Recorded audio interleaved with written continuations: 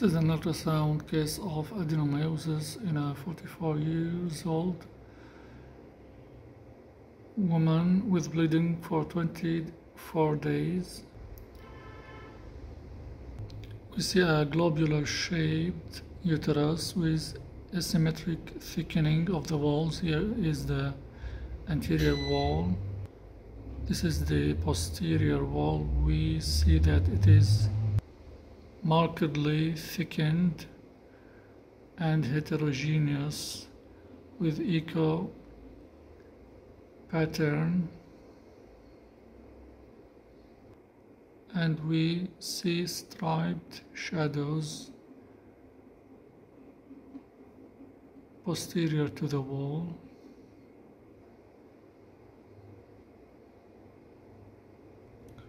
Bicolor Doppler we see translesional vascularity.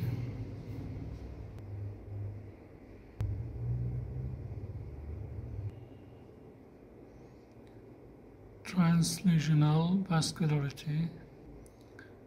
Asymmetric thickening of the walls especially the posterior wall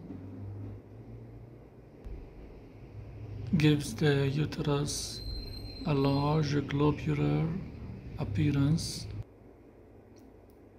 transverse section, color Doppler.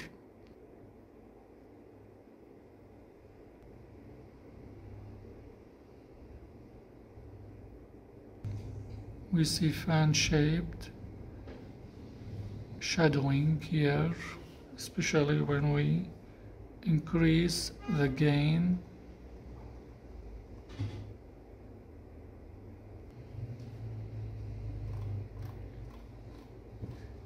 by increasing the gain the shadowing becomes more clear. And hereby examining the near wall of the fundus we see cysts in the myometrium. Here we see two cysts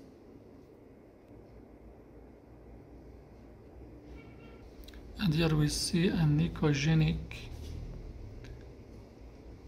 lesion with cystic appearance which is ectopic endometrium in this area.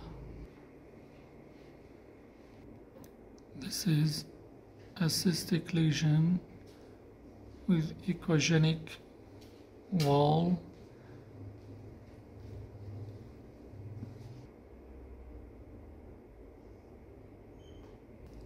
this is a cyst and this is another one. And this is an echogenic lesion in the myometrium with cystic appearance. All these findings